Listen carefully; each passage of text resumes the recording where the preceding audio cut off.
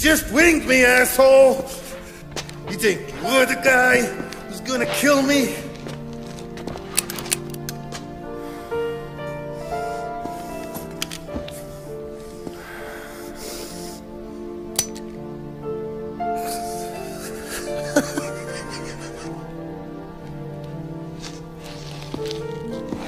What did I tell you?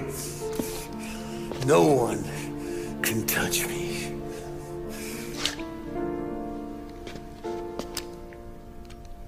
You ain't that lucky.